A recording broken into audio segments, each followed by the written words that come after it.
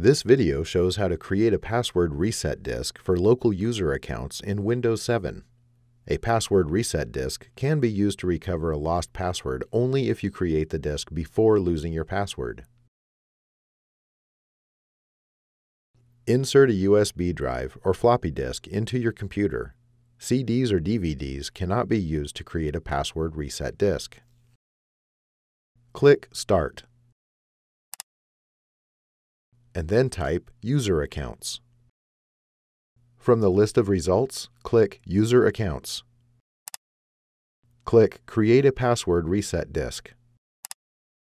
From the Forgotten Password wizard, click Next.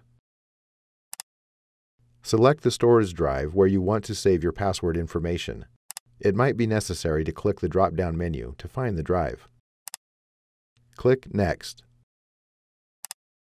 Type your current user account password, and then click Next. Only one password reset disk can be created per account. If a second password reset disk is created, the original one will no longer work. A new password disk does not need to be created if you change your password. The computer saves the password information to the selected drive. Click Next. Click Finish to close the wizard and complete the password reset process. It is important to keep the password reset disk in a safe location. The account password can be reset by anyone using the password reset disk. You can find additional helpful videos at hp.com forward slash support videos and on our YouTube channel, youtube.com forward slash HP Computing Support.